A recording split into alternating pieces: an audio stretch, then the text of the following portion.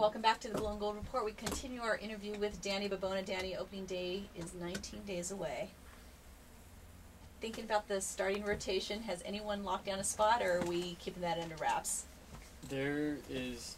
I wish that I could keep something under wraps. Um, it's something Skip and I have been talking about a lot, and we have, you know, seven or eight guys competing for four spots, and it's a good problem to have. Right. I'm not I'm not disappointed about having that, but you know, this last week having getting rained out and everything else didn't really help us come to a decision. Um, I'm hoping that some guys jump off the page the next couple this week and the and next week, um, because we we literally do not know who's gonna start the first game, second game, third game. So. Uh, we have a pretty good idea with Thurman. I mean, with what he did last year. So, I mean, most people believe he's going to be our Friday guy. I hope he is. I hope that he keeps doing well and um, matures. Uh, but besides that, it's Hooper, Whitehouse, Brock, Morales, Mitch, Ferragamo, um, plenty, It's anyone's. plenty of other guys. Yeah, it is really anybody. Surrey, it's anybody's game, um, and they gotta they gotta pitch like they want it these next two weeks. Let's talk about Thurman. Has he worked on anything that is gonna surprise us this year, or is he is he just better? Um, I think he's throwing the ball a little bit harder. I mean, I, I don't really I'm, I wasn't too familiar with him and what his he did really well and not so well. Mhm. Um, I'd see him around. I'd see come here when I'd work out, and I'd see him throw bullpen stuff like that. Um, but I was never too. You know, I didn't really know what I was getting. He's he's a special pitcher. I mean, he throws throws the ball pretty hard. He's I believe his fastball command's gotten a lot better. Because Skip was telling me that was something that he wanted me to work on him with. Um, his changeup's a good pitch still, and he's he's added a little slider Okay. um, that he started throwing in the Cape this summer, where he was real successful with it. So we're hoping that that could be you know an out pitch or a pitch where you know we're in a jam, he could throw that pitch and has the confidence in it to get the best hitters out. Now, I know pitchers are very, you know, they take a lot of pride in their velocity. You know, you'll see the bit the Strasburgs who are incredibly, you know, on the upper end of that scale. But what is realistically a good improvement for a pitcher velocity wise? Is it a couple miles per hour? Is it four or five? Yeah, just a couple. I mean, it's it's hard to get more than that. Once you start getting more than that, people are gonna start asking questions. Okay. um, but yeah, he's he's throwing the ball well. We have we actually have a lot of guys who who can throw the ball relatively hard. I mean, harder than then what most of the people guys. think? Well, most harder than most of the guys that I played with. Okay. I mean, Bergman, Pettis, and I didn't throw the hardest. We had Necky. Mhm. Necky threw pretty hard. Besides that, um, we're all pretty much mid to high 80s. That was it. Uh, talk to us about Whitehouse and Hooper. They were going to be key guys last year. Unfortunately, got hurt. They're back. Are they 100% ready to go? Yeah, yeah, both of them have been throwing. Um, Hooper was on a throwing program throughout the fall just to, to play it safe. Um, he's he's back. He's throwing in games. He's ready to go. Uh, Whitehouse Whitehouse has been really good.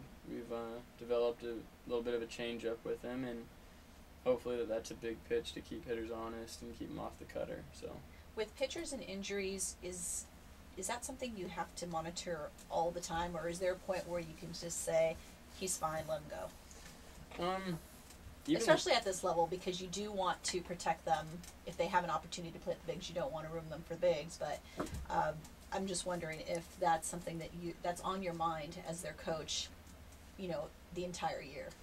it's it's the it's not the stuff that you're gonna do once a guy gets hurt. Mhm. It's the stuff that we're gonna do before.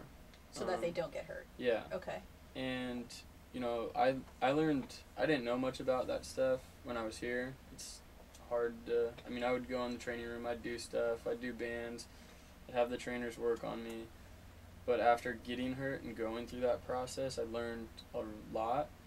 Um, and you know, after every bullpen you throw or every game you throw with the Cardinals, um, we'd have arm care, and it's written out what we do, and um, I sort of brought a lot of that here, Okay. and um, we'll set up like based on what the guys throwing pro throwing schedule is going to be for the week. I'll set up. You're going to do this, that's this day, this that day, just so they don't have to think or worry or do worry that they're doing the wrong thing or the right thing. Um, So I- that's something that you kind of brought from the pros. Was that wasn't here? Well, you said you didn't experience any major injuries while you were here, but do you know off the top of your head if that type of program was in place before? Um, no, it wasn't. Definitely wasn't. Um, I know that the, the the Jaeger guys came and taught the guys some stuff, and and I'm not telling them that this way that the Cardinals did was the right way and it's the only way. Right. I'm just giving them what I learned and saying you could take it if you want. Mhm. You, if you don't want it, don't take it. But um, I think most guys do a pretty good job of it. So, okay, so it's well received and they're following the plan. I think so. Uh, let's get back to the roster. You mentioned some newcomers, um, Elliot Surrey, Andrew Morales. What talk about those guys? Are they? Do you see them pitching this first year?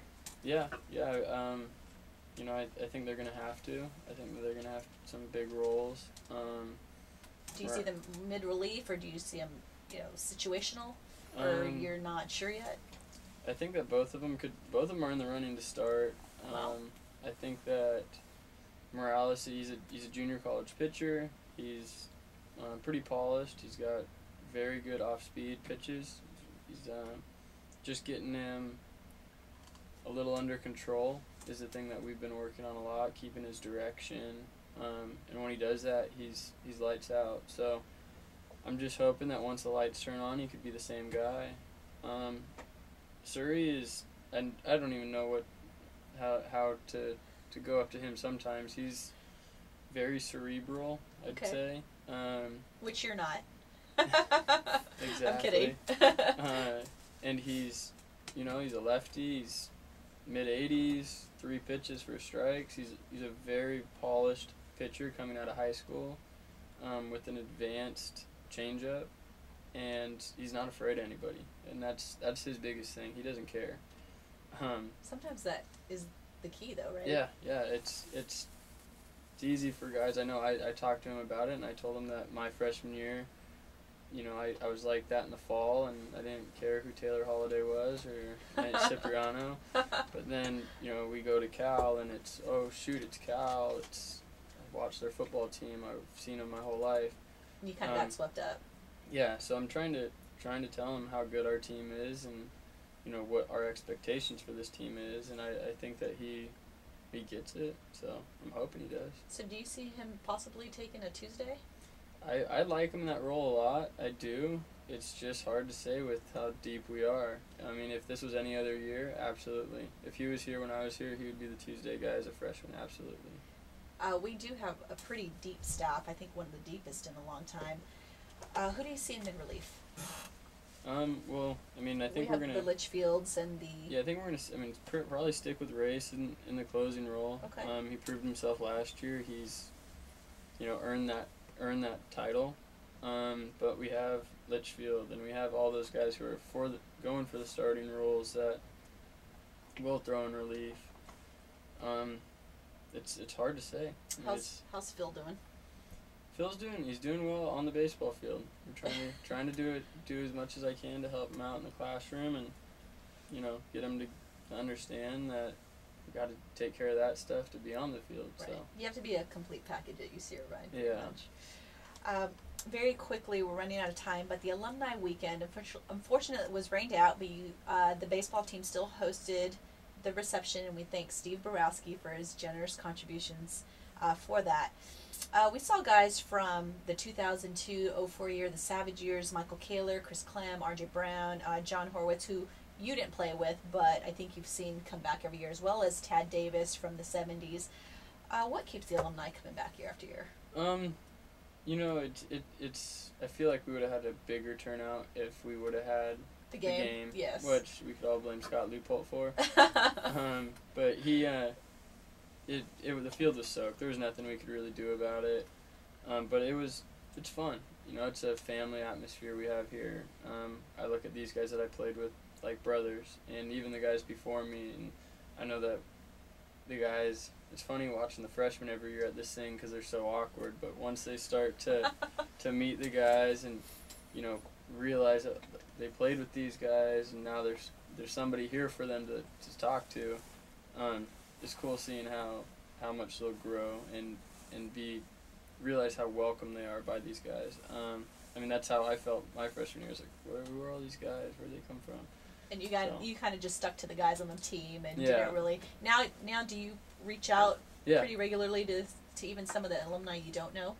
Uh, yeah. you know, when you I see mean, them we- around? Yeah, well, if I see somebody, I'll definitely talk to them, and um, I think a lot of that's just just them seeing how involved the alumni are and how much they do care about the program and general gen genuinely care about somebody that they don't even know yet and open them with open arms. So. Well, Danny, we're excited. 19 days away. We open up with Baylor February 15th. Three game series. Uh, we look forward to seeing how the Anteater pitching staff does this year under your tutelage. Yeah, Uh, so I. I want to wish you the best of luck. Anteater fans, uh, mark your calendars. Opening day at home. Be there. And we will be right back to wrap up this edition of the Blue and Gold Report on KUCI 88.9.